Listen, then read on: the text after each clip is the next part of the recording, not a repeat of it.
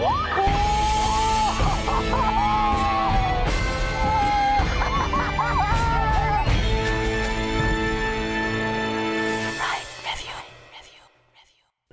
Mahlzeit, herzlich willkommen beim Review Videomagazin und einem kleinen Rundgang über die Frühsprödentalkirmes in Krefeld. Ja, auch im Jahr 2016 findet im Frühjahr wieder die Sprödentalkirmes in Krefeld statt. Und das Ganze geschah vom 22.04. bis zum 1.05. Und auch diesen Rundgang machen wir wieder wie den letzten Rundgang über die Föhr Tron so ganz einfach rausgesprochen, ohne vorbereiteten Text und ohne viel Heiti-Teiti. Einfach so, wie wir über die Kirmes gelaufen sind. Und ähm, ja, wir sind gegen den Uhrzeigersinn gelaufen, also kam vom Parkplatz aus, äh, der zur Kirmes gehört. Und äh, neben Gastrobetrieben und vielen Gewinn- und Glücksspielbuden gibt es natürlich auch reichlich Kinderattraktionen und vieles mehr, was wir alles hier auslassen werden. Wir kümmern uns halt nur um die Großfahrgeschäfte. Und das erste, was dann natürlich auf unserem Weg uns aufgefallen ist, ist der X-Faktor von Franz Deinert. Ja, das Ganze ist eine Anlage vom niederländischen Hersteller KMG und nennt sich Freakout und wurde im Jahr 2004 gebaut und schleudert bis zu 16 Personen pro Fahrt durch die Gegend. Schräg gegenüber davon steht Willi der Wurm von Bauermeister. Das Ganze ist, wie man es natürlich jetzt direkt schon im Video erkennen kann, ein Wacky Worm Schrägstrich Big Apple.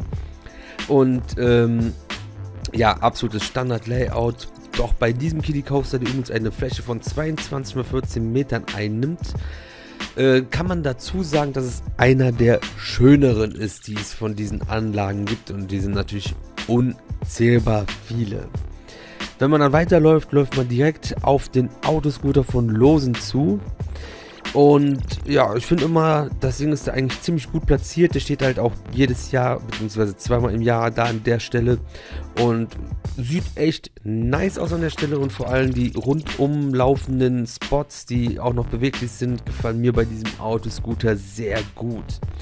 Und wenn wir schon bei einer Attraktion sind, die eigentlich bei jeder Veranstaltung an der gleichen Stelle steht in Krefeld, dann muss man natürlich den Spinning Racer erwähnen, der gefühlt auch jede Veranstaltung, also zweimal im Jahr an der gleichen Stelle dort steht.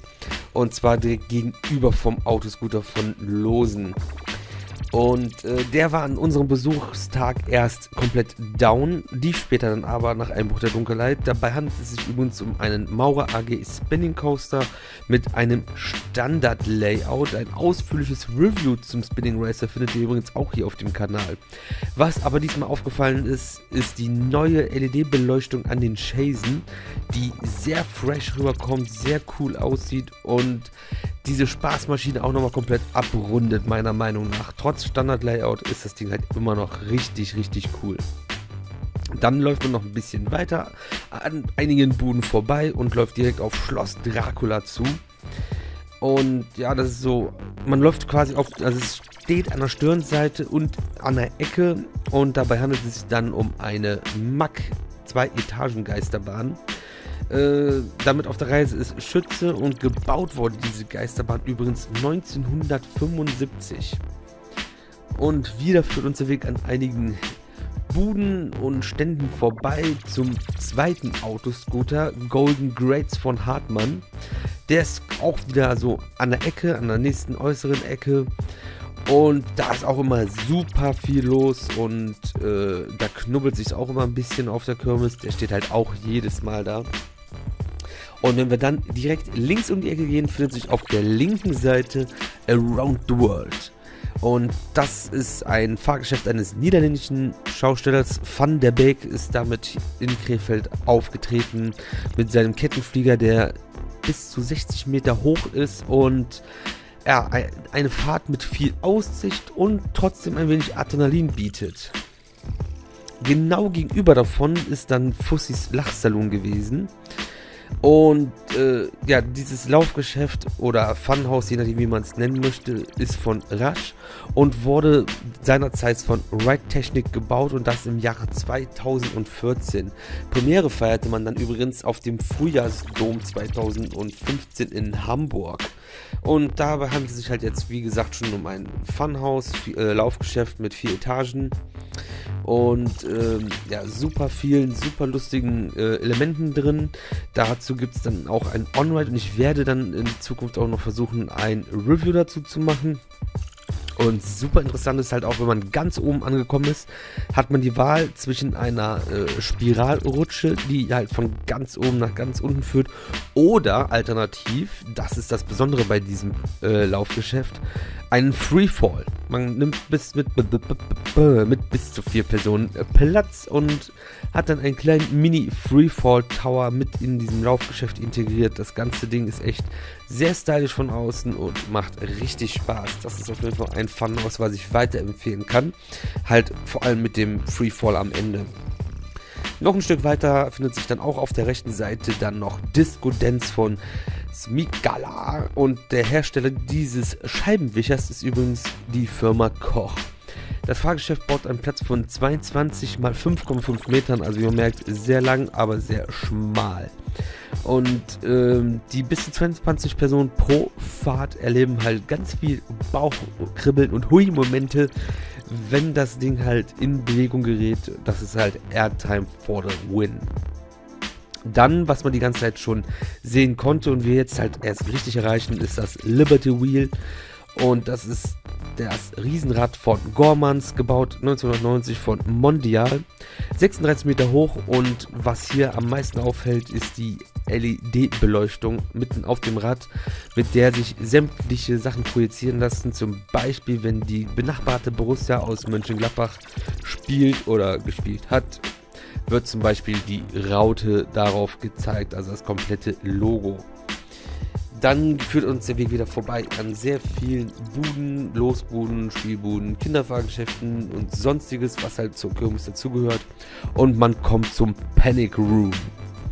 Ja, und der Panic Room ist halt äh, ein Laufgeschäft, Schrägstrich eine Show mit Live-Erschreckern, ein Gruselzelt in der Front oder wie man es halt sehen möchte, ist eine Maze auf der Kirmes. Moni und Sohn betreiben dieses ja, man hat, ich war selber noch nie drin, aber bis jetzt habe ich echt äh, sehr viel Negatives von dem Ganzen gehört, aber da möchte ich mir dann halt irgendwann selber noch ein Urteil zu bilden. Dann schräg auf der Ecke dann davon gegenüber stand der High Impress von Oberschelp, die schnellste Bratpfanne der Welt. Seit 2003 in 2003 existiert dieses Fahrgeschäft, gebaut vom Fabri, vom Typ Kontakt und auch dazu gibt es ein längeres Review von mir hier auf dem Kanal.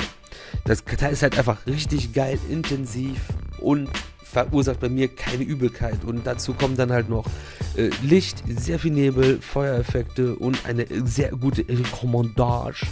Plus die Optik, die richtig nice ist, ist der High Impress ein absolutes Highlight auf jedem Festplatz meiner Meinung nach. Und sollte man auf jeden Fall mal gefahren sein. Witzigerweise habe ich äh, bei Facebook zur Kirmes gelesen, dass sich da Leute beschwert hätten, dass es äh, kein Breakdance auf dem ganzen Platz gibt. Und jemand anderes hat geschrieben, dass der High Impress ja quasi sowas ähnliches gewesen wäre. Dann folgen wir weiter dem Rundlauf und kommen zu einem Fahrgeschäft von Heidmann Schneider und dabei handelt es sich um Poseidon. Und Poseidon ist eine Wildwasserachterbahn des französischen Herstellers Revenchon und wurde 1985 gebaut, was man der Bahn absolut nicht ansieht. Und das ganze Gerät ist auch noch richtig, richtig schön thematisiert im griechischen Stile. Bietet 13 Boote auf einer Fläche von 21 mal 49,5 mal 15 Metern und hat auf der Strecke sage und schreibe zwei Drops verbaut. Ein Lokflug für die Kirmes. Sehr nice. Und ja, zu guter Letzt auf der Ecke und quasi auch wieder da, wo wir auf den Kirmesplatz draufgekommen sind, steht der Schlager Express von Dresden. Das Ganze ist bekanntermaßen eine Mackberg- und Talbahn. Ein absoluter Klassiker auf dem Kirmesplatz und damit ist der Rundgang eigentlich auch schon wieder zu Ende.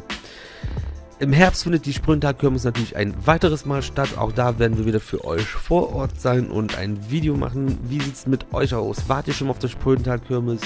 Oder werdet ihr zum Beispiel jetzt im Herbst auf die Sprüntal-Kirmes kommen? Und wie hat euch die Beschickung gefallen dieses Jahr im Frühjahr? Würde, würde mich mal interessieren. Könnt ihr gerne in die Kommentare schreiben. Ansonsten checkt die Reviews und On-Ride-Videos von den angesprochenen Fahrgeschäften. Abonniert diesen Kanal, um nichts mehr zu verpassen. Das war's von mir, euer Rofus Ride Review Magazin. Ihr seid die coolsten und ich bin raus. Peace.